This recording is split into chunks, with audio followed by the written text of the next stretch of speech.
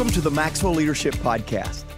This is the podcast that adds value to leaders who multiply value to others. I'm Mark Cole, and today I'm looking forward to the lesson that John is going to share with us. Because as many of you know, tomorrow is Thanksgiving in the U.S. In fact, if you're listening to this episode on the day it releases, today is one of the biggest travel days of the year. So be careful. There's some crazy people out there. That's because so many people are gathering to be with friends, to be with family, to spend and celebrate the things they're grateful for.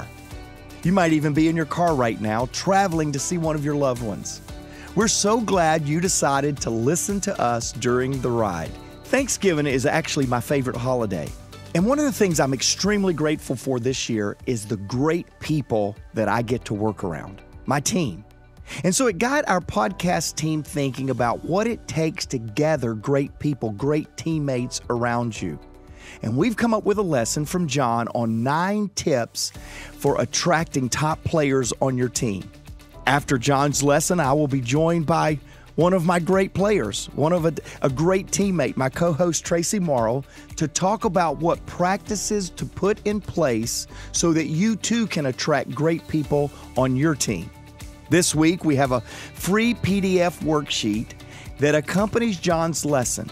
This bonus resource is designed to help you take notes and capture ideas as you learn from one of the best team builders in the world, John Maxwell. To download this PDF, just go to maxwellpodcast.com forward slash gather and then click the bonus resource button. Also, this episode is available on YouTube. If you'd like to watch the video, just go to maxwellpodcast.com forward slash YouTube. That's it for now. Let's go determine how to improve and have a great team. Here is John Maxwell.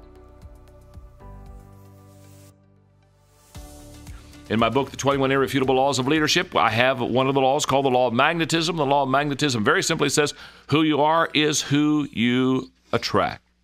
Tens attract tens. Eights attract sevens. Sixes attract fours. And fours attract ones.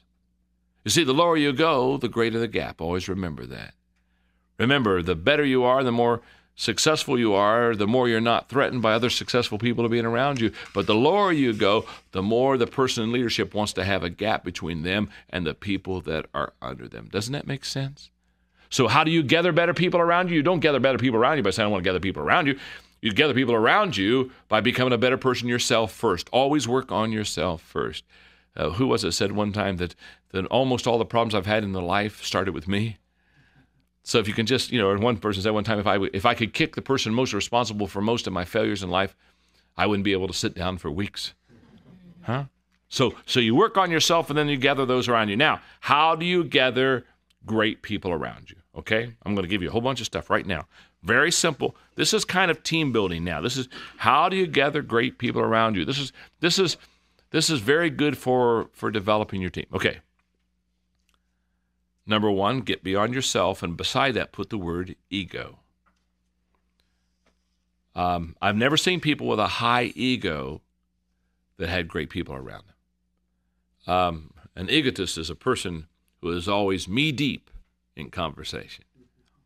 We know them, don't we, huh? Well, you know, let's just talk about me some more.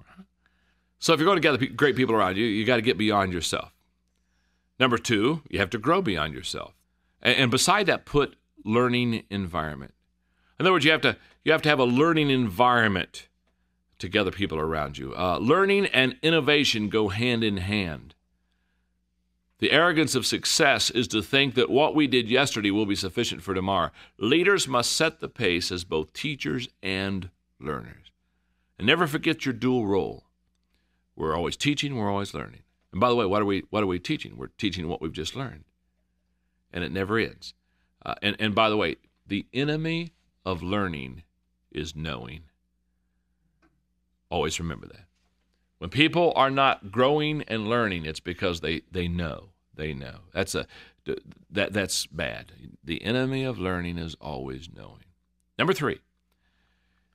Now you got to give beyond yourself, and that right beside that put this phrase: investment in others. you've got to begin to invest in other people. If you're going to gather a great team around, you've got to invest in them. Time given to leaders grows the organization today. Time given to potential leaders grows the organization tomorrow. By the way, you don't ignore one for the other. You pour your life into the leaders today so you can continue to have the success of the day, but you pour your life into the potential leaders so you can have the success of tomorrow. Now, what's that mean? What, what that means in my organizations I have is that I have to spend a lot of time with the key players because they're the, spending key time with the key players multiplies success. You've got to spend time with them, you know, seeing how everything's going. I mean, key players, strategic players. Uh, my schedule gets more and more filled up.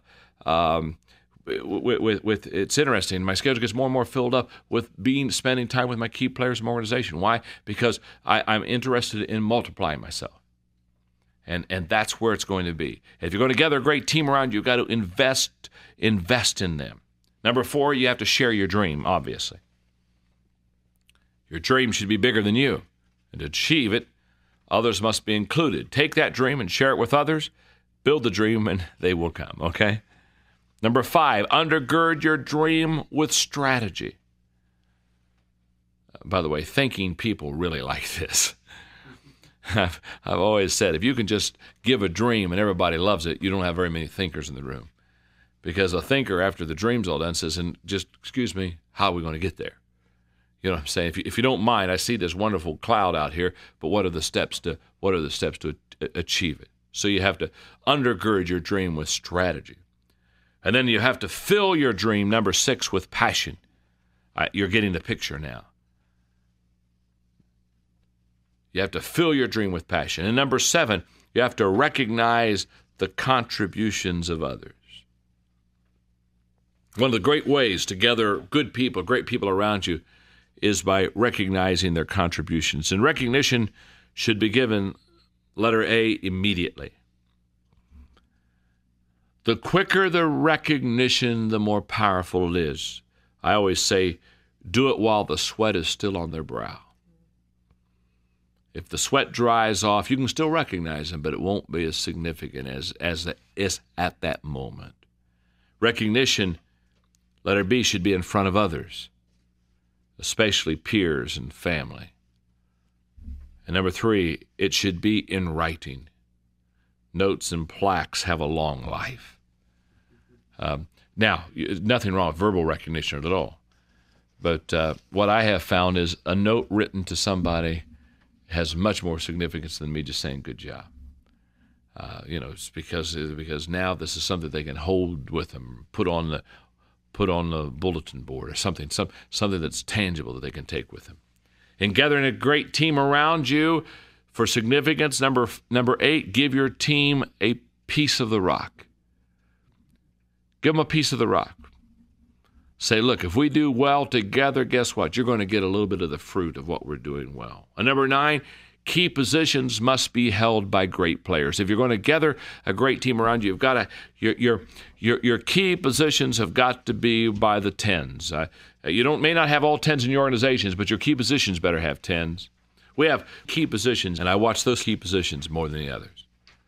Because if those key positions are have quality leaders within them, all the rest of the organization will just take off. But you let one of those areas begin to get a seven or a six in there, and all of a sudden you, have got you've got problems. Okay, simple enough.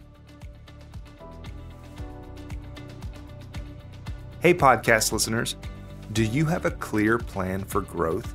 Achieving big results most often does not require big life changes. Small improvements over time compound into big results. Download the Maxwell Leadership app. It's the new free app where our expert guides and John Maxwell help you pace your leadership journey and set a clear plan for your own personal growth. You can also find all sorts of resources on the Maxwell Leadership app, including this podcast, information on upcoming events, and much more. Just search Maxwell Leadership in your App Store and download the app today.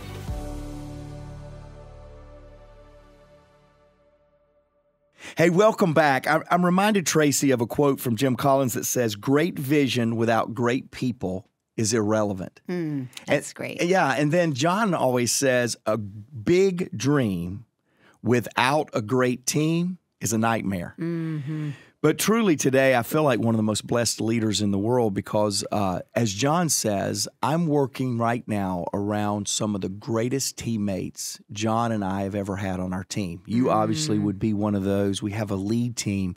And so, Today, I'm really teaching uh, out of a great sense of appreciation. Tomorrow in the United States is uh, Thanksgiving, and I have so much to be grateful for because truly, I've been blessed to have some great teammates around, and you're absolutely one of them. I'm glad you're on the podcast with me. Well, I am glad to be here, but I'm also so grateful to be a member of your team and to be teammates with you. And I think these nine points are a great checklist for not only myself, but for our listeners. And I hope that if you are driving, you will take a moment when you get to wherever you're going to print out this worksheet because this list that John has given us, there are probably going to be some things that you have done well and some things that you go, wow, that's something that hopefully uh, I need to I need to work on a little bit. Yeah. So as we dive in, Mark, the first one that he said is to get beyond yourself. And one of the things he said was, um, I've never seen someone with a high ego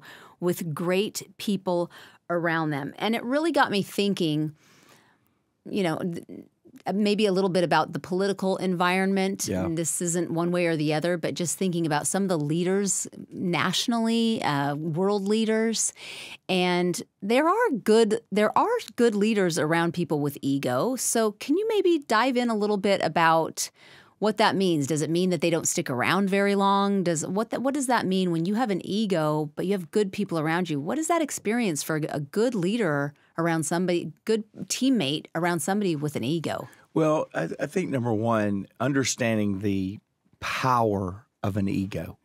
And power's not always a good thing, right? We've seen people uh, misuse, abuse power.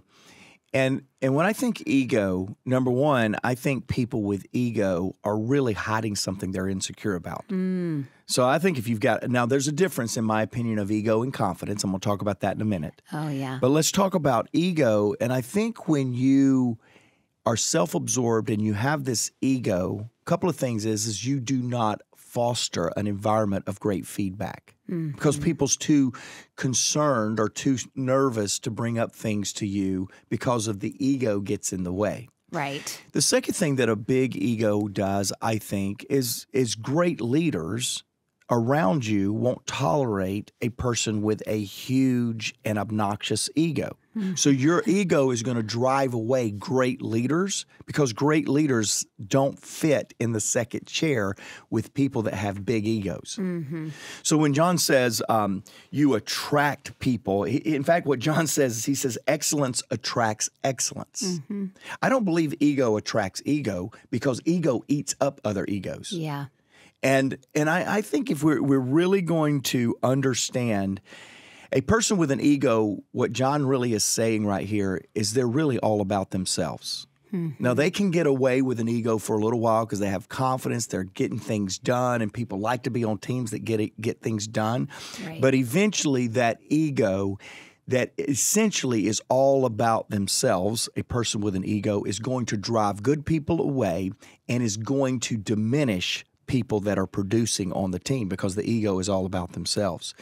Um, I, I got a challenge for us, uh, Traci, that I, I want to put out there right here at the beginning. I think this is a very humble, very non ego thing to do.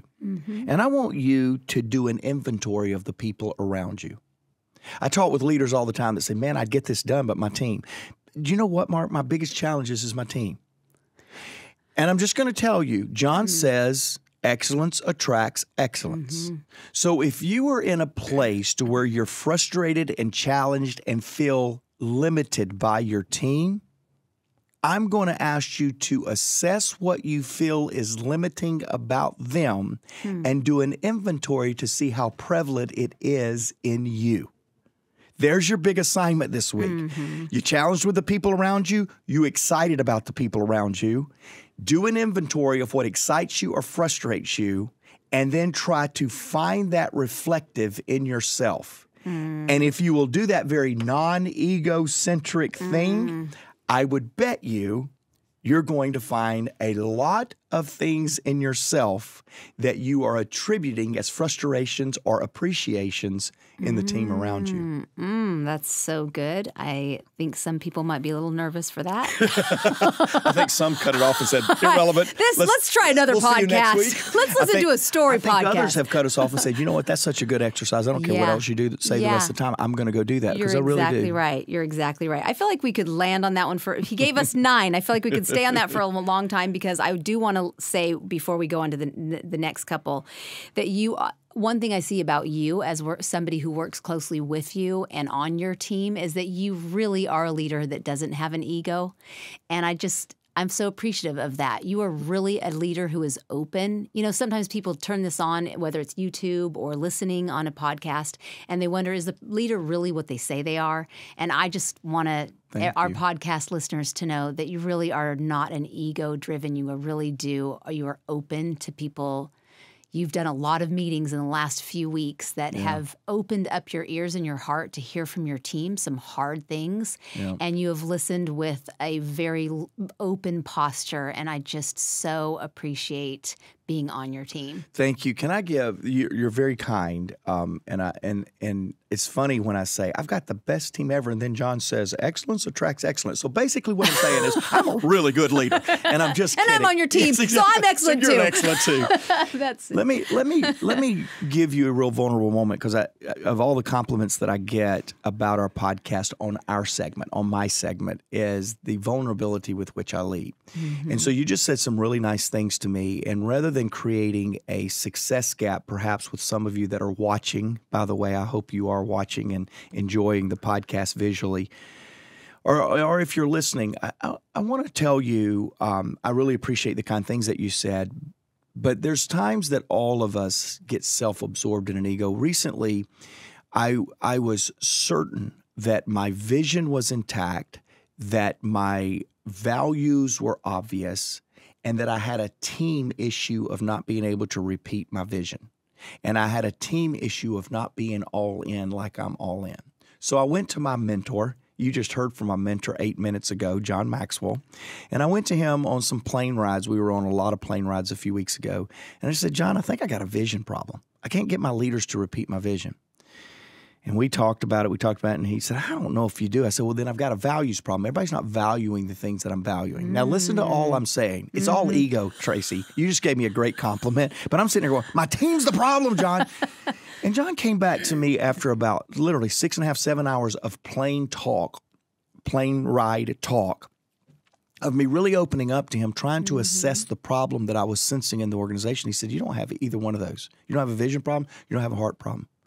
Your people love the vision. Mark, your vision is bigger than my vision, and I now work for your vision. Now, that's very humbling. Let's not even go there. Mm. He says, You don't have a values problem. You have more loyalty and more passion from the teammates around you than any leader I've seen in a long time. You don't have a values problem. You have a mm-hmm. momentum problem. Mm-hmm. And Mark, momentum is the responsibility of the leader, not the leadership team. Mm. The leader has to manufacture momentum, the leadership team has to manage momentum.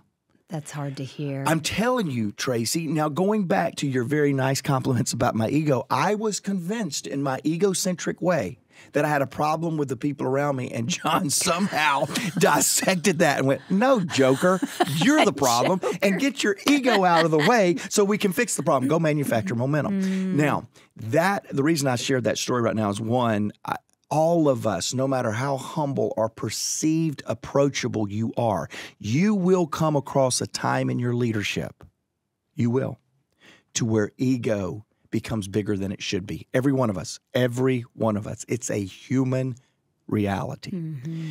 Secondly, you mentioned some great meetings that we had recently, some family rooms to where we just got really raw with one another. Our team and our leadership team just came together and we got mm-hmm. raw with one another. That is an outcome of realizing what John was saying. Mark, your ego needs to get in check. You need to manufacture momentum so that others can manage that momentum. You know, this uh, is, all of these checkpoints, and we'll get to those in just a minute. But can you just maybe explain to us what in what it means to you to manufacture momentum? I can. You, you know, for years, for 22 years, I've been on John's team. For the last 12 years, I've been his CEO. I've been his right hand. He casts the vision. He goes and pray. He, he's a person of faith. He prays about the vision. He sorts through what he feels in his spirit and his relationship with the Lord. What's the vision for himself, the vision for the organization? Then he comes and shares that, and then boom, I'm off to the races running it. Mm-hmm. That's been our formula for 12 years. And I thought I was the manufacturer. I thought that I created momentum in the organization for John. And in fact, he attributes me as being able to create momentum in his mm-hmm. organization the last 12 years. Well, I've now taking the responsibility of going and finding that vision. I'm a person of faith too, so spending time with God. What's the vision for John's legacy? What's the vision for our future? What's the vision for our company?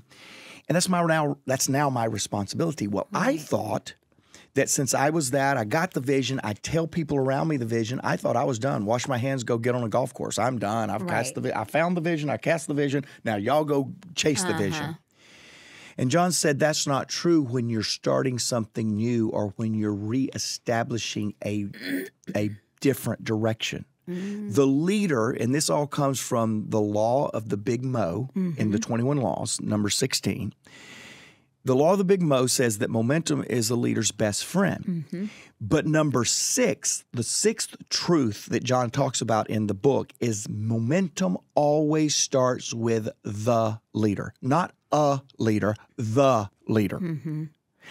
In other words, when you're casting vision, people can hear the vision, love the vision, embrace the vision, but still not know how to pursue the vision. Mm. The leader cannot leave a new vision or an or a, a or a greater vision without showing how to get momentum around that vision. Then once you show how, then it can be managed by the team around you. Mm-hmm. And I just wasn't mm. showing how to pursue the vision. Mm-hmm. I wasn't mm. showing creating momentum. And that starts with the leader. And then truth number seven is it starts within the leader on the inside. Mm-hmm. So for all of us on the week of Thanksgiving, is 2022 going your way on a personal? You're the CEO of your personal life. Do you have momentum inside you of where you want to go? It's got to start with you. Quit blaming this, that, and the other. Maybe the family you're going to see on this drive time. Mm-hmm. Quit putting responsibility for the momentum of your life on external factors. It starts within you and then begins to, uh, to prove itself out to others around you. I appreciate you diving deep into that a little bit because I think John has done such a great job of kind of laying out this checklist. But I think hearing how you are really living that in your leadership journey right now, it helps it break it down for the people who are listening yeah. for their own journey as well. So we have spent a lot of time kind of on that yeah. first point. I don't want to pick. I, will let you pick if if there's somewhere where, where, you feel passionate. Is there one that you want to? I have plenty of questions for you, but is there one that you wanted to land on? I want to. I don't want to know if I want to land on this, I, but I, I, do want to talk about number three, and you will okay. appreciate this one okay. too. You'll have something to say on it. But give beyond yourself and it's about the investment of others. Mm-hmm. One of the things that I have found in leadership, especially when you're launching something new or you are pursuing something that feels different. Mm-hmm. So in my case, I I'm privileged to be the leader of a very established brand. This brand does not need me, Traci. I mean, this brand has impacted. John's legacy is enormous in its impact around the globe doesn't need me. This, John's influence is on autopilot. And that's that's overplaying something perhaps. But yeah. here, here my point. So many times when we as leaders we get so enthralled, almost egocentric in the vision that we feel that will take us to the next level of success or mm-hmm. will launch success for those of us that are entrepreneurs. Mm-hmm. And we get so we we get so captured in that that then we don't realize that we're not investing in those around us. So, in these recent family rooms that I was going to, mm-hmm. through, I want to create momentum as the organization. What I found is our team feels like that they are running, chasing the vision more than being restored and valued as a teammate in the mm. process. Hmm. And I realized you can get so caught up as a leader in the vision that you can slow down, that you can miss the point that investing in people is the only way you'll get to that dream. We started out with a quote from Jim Collins, the quote from John Maxwell. You cannot get to your dream if your dream is bigger than you. You cannot get to it without investing in others. I hmm. can't overstate the critical point of give beyond yourself. Hmm. And so part of that what he talked about was the time that you give and and spending time with key players. So what does that look like in your team right now as you what does your calendar look like as you are spending time, you know, you have a huge team and it's one team and it's one dream and as you are casting this vision and imparting this vision it's not just meetings that you're having where you come with an agenda and you attack that agenda and you cast your vision and everyone goes away. You're also having family meetings where you come and you're listening. So, can you maybe break that down so that a leader listening can know what that balance is between the family meeting, the family room meeting, and the agenda meeting, and then the time spent with key leaders. Yeah, and, and the first thing I would say, it's not profound, but it serves as a reminder to all of us right now. The first thing that I would say, it's not how much time, it's how you spend your time. Mm-hmm. And and so we, we just did, I, I just spent about 30 hours in groups of 10 to 15 meeting with every one of our staff members. It took me about 30 hours to get 90 minute meetings called family rooms um, and touch every one of our people in a very small environment. And I, I'll tell you that that was a big time investment for my schedule. It was. Was it was it enough? No, I wish I'd have had two hours instead of 90 minutes. I wish I could have gone. Every one of them could have gone much longer. But it wasn't even just the amount of time, because that feels like a huge amount of time in my schedule right now. It was how we spent that time.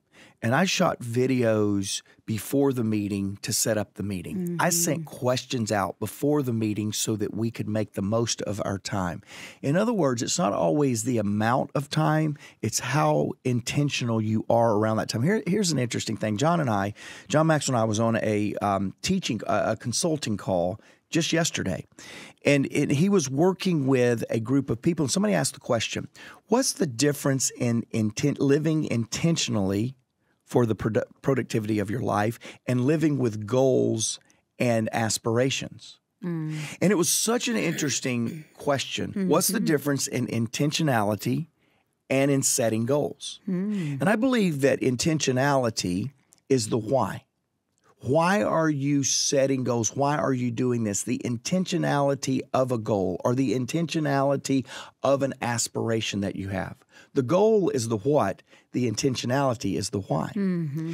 And sometimes we get so caught up in the goal that if we don't miss, if we don't hit the goal, they we allow failure and thoughts of less than come into our life.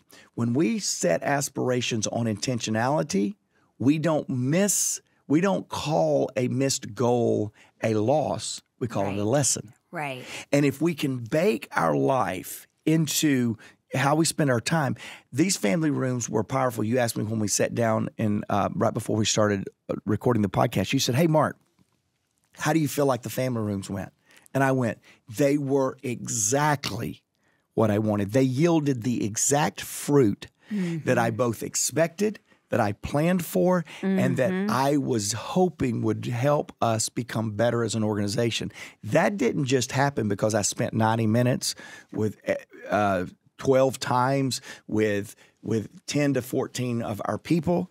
That happened because of the intentionality we put into the plan. So it wasn't the time, although that was a lot of time, it was the intentionality of the time that gave us the results that we hoped for. Mm-hmm. I love that. Well, let's jump down to number seven, if you don't mind. I love this uh, this one because I personally I think it's something that I have struggled with. Uh, and I'm just curious, what does recognition? It's recognizing the contributions of others. So, what does recognition look like in your organization? John talks about recognizing people while the sweat is still on their brow. I love that. Do you have a system for identifying um, and you know identifying like a love language or a recognition language in your team and for executing recognizing your team members right there on the spot or in front of other people or in the written he said you know to make sure it's written and public yeah. So, uh, number one, I don't do this well, but I don't know many organizations that do, mm-hmm. because how how can you consider doing well at celebrating your people. I mean, mm-hmm. we do mm-hmm. an adequate job, I hope. Mm-hmm. We we certainly make it an attempt of ours for sure certain. Mm-hmm. But do we do it enough? I don't think you can celebrate people enough. I'm a little bit like you. I just, man, I just yeah. want everybody to feel celebrated. Yeah. Let me tell you a couple of things that we do. I got really impacted by one of our uh, nonprofit board members because he has a culture champion award that he gives mm-hmm. every year. We do that. It's a big trophy. I mean, think of think of any sporting event trophy, uh, the Vince Lombardi trophy. Just think of any trophy that's given. And we've got this mm-hmm. huge trophy that we pass mm-hmm. from person to person every year, and they get to keep it at home, in their office, wherever they want. And it's our Culture Champion Award, mm-hmm. our most valuable culture champion is what we mm-hmm. call it. And now we give them a very significant bonus. We give them some time off, we give them the trophy, and we give a huge we make a huge deal about that every year at my State of the Culture address that I give to our entire company. Another thing that we really do try to do is when the sweat is still on the brow. You were just recently at Exchange, and and uh, one of the things that we do, I bring people up at Leadership Open at some of our big events the people that are out there sweating, I bring up on stage somehow. Mm-hmm. I, I, want them to be seen and celebrated. They don't want to be public speakers, they're not necessarily public speakers, but I want their voice to be heard, mm-hmm. which is a mm-hmm. recognition that while the sweat is on the brow, we are letting them be seen in the spotlight holding a microphone. Yeah. Try really hard to do that. Don't do it enough to my team that listens to the podcast. I got to do a lot better job on this. But that's another thing that's really important. And, and, and most recently, Traci, mm-hmm. we're a virtual team. Mm-hmm. Now, of all the questions John and I get asked in Q&A, it has moved from what are we going to be doing? What are we going to do with these millennials? Oh my gosh, what are we going to be doing with these millennials? By the way, if you want to know how to reach the next generation of the millennials, Tim Elmore has written a book called A New Kind of Diversity. It's a brilliant book on uh, diversity in the workplace around generations. Go mm-hmm. pick it up. Mm-hmm. That's not even my point today. But the real question now that we get asked is how do I create connectivity in virtual teams mm-hmm. because since the pandemic, we've all become virtual team members. Mm-hmm. Uh, people want it more than ever before. Building these teams, Traci, around virtual experiences makes celebrating even harder mm-hmm. because we like to do it when the sweat is on the brow, but we don't know if they're really sweaty because their Zoom picture's off. we don't know what they're doing. Are they even dressed? Are they even what, there? Are they there? I mean, did they did they sign up and then go to the coffee house? I don't know. How do I celebrate them? Hey, we want to celebrate you. Are you there? Are you there? Are you there? Okay, we'll celebrate you next time. I mean, Zoom and virtual has made things really interesting. So, one of the things we've just instituted into our leadership team is a way that we can celebrate our team so that they can be seen whether they're in the office or not. Mm-hmm. And uh, and so I would just challenge all of us to find ways to tangibly recognize the contribution of others. You know, Traci, I always hate when we run out of time, but um, I'm reminded today. I mentioned Tim Elmore's book. That wasn't even the special thing I want to do, but it is a great book. But I'm reminded of what another one of our thought leaders, uh, Don Yaeger, created several years ago with a guy named David Ross. Now, those of you that are watching uh, uh, via YouTube, you get the you get the benefit not only of seeing Traci's lovely smile, but you get the benefit of me holding up exhibits, which is what I'm doing now. I'm holding up a book called Teammate. And it's a journey in baseball and a journey toward the World Series for the ages. And it's by David Ross and our Maxwell Leadership Thought Leader, Don Yaeger. And uh, it's such a book that I believe will help you gather great people around you. This book is one of the best books on teamwork, mm-hmm. teammates, how to work effectively as a team. And it's all built around the story of David Ross and how he went from truly an obnoxious teammate. truly, truly, his words. Yes, because we had him at exchange to being one of the best seen teammates mm-hmm. in all of major. It was a great turnaround. We see teams turn around. This is about an individual teammate that turned around. And I want to challenge you. We're going to give you a 15% off uh, with this. And, and so go to the link in the show notes. You'll be able to put in podcast and you'll be able to get 15% off. And we want you to have that book. Hey, I uh, recently I've got it down here. I've got to get this. Recently, I was in Pittsburgh, and um, I met one of our podcast listeners, and I was so blown blown away at this. He listens every week. I love that. And it's Cam. Oh. Cam, he is a financial a- a- analyst, and I met him in Cranberry Township just a few weeks ago. John and I were up there with one of our legacy partners with our nonprofit and Kim came up to me and he said, Hey, I commute to Pittsburgh 29 minutes every single day, and you go with me. Now, number one, it's Love snowing that. in Pittsburgh today. So, Cam, I'm glad I'm in the car with you and not physically up there with you.